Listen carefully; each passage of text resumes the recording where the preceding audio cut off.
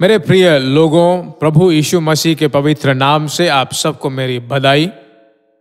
परमेश्वर के बहुत बड़े अनुग्रह के द्वारा हर दिन पवित्र आत्मा के साथ नामक इस संदेश में आपसे मुलाकात हो रही है। आपके लिए प्रतिदिन परमेश्वर के द्वारा दिए गए वचनों को आपके साथ मैं बांट रहा हूँ। इसमें बहुत बड़ी खुशी है। इन संदेशों को सुनने के बाद जो आशीष आपने पाया है उन्हें ज़रूर कमेंट सेक्शन में डालें।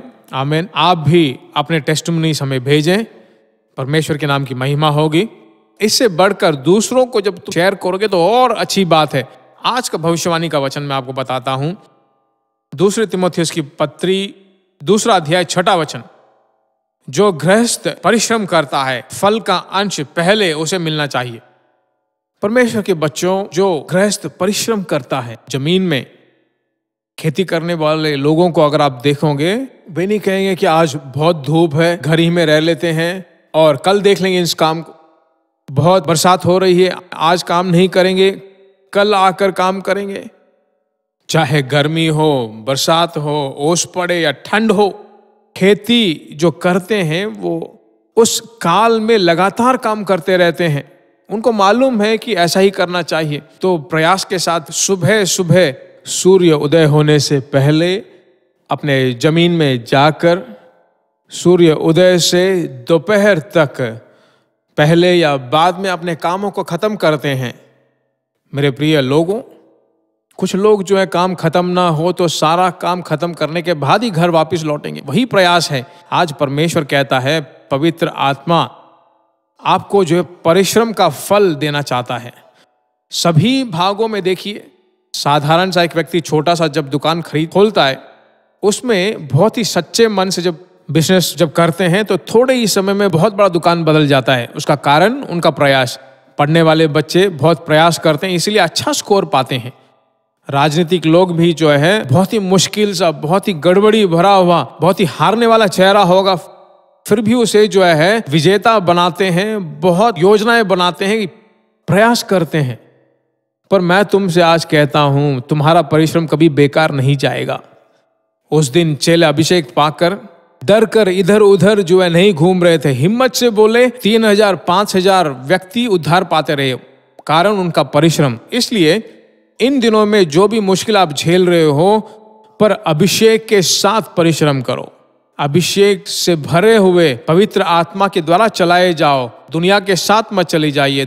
दुनिया की ज्ञान को मत खोजिए।